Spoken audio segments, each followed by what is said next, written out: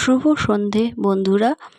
তো জানো তো, আজকে উঠতে একটু অনেক বেলা হয়ে গেছে, কারণ অনেক বেলাতেই ঘুমিয়েছিলাম দুপুরবেলায় রান্না করতে করতেও কারণ জানি যে, যেহেতু হাজব্যান্ড নেই বাড়িতে, তো ছেলেটা আর আমি, তাই জন্যে ধীরে সুস্থে রান্না বান্না করে দুপুরে খেয়ে, খাওয়া দাওয়া করে ঘুমাতে ঘুমাতেও তিনটে বেজে গেছে। তো অবেলা হয়ে গেছে, অনেক বেলাও হয়েছে, উঠতেও দেরি হয়ে গেছে।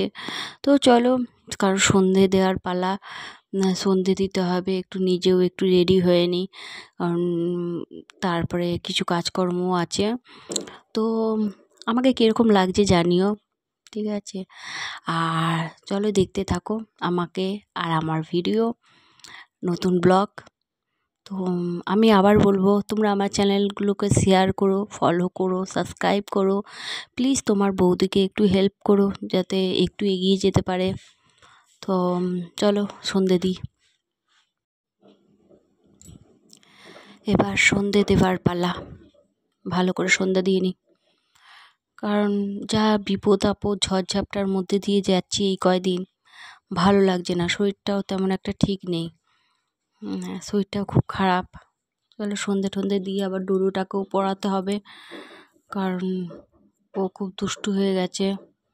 পড়াশোনা একটুও করতে চায় না। চলো।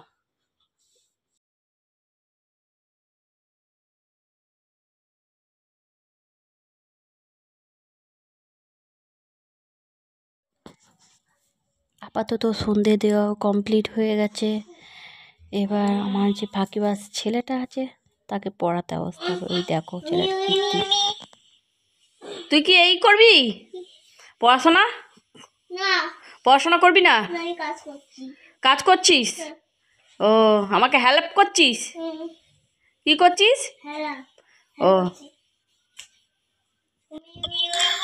আমার ছেলেকে পড়তে বসার কথা বলি ও নাকি পড়তে বসবে না?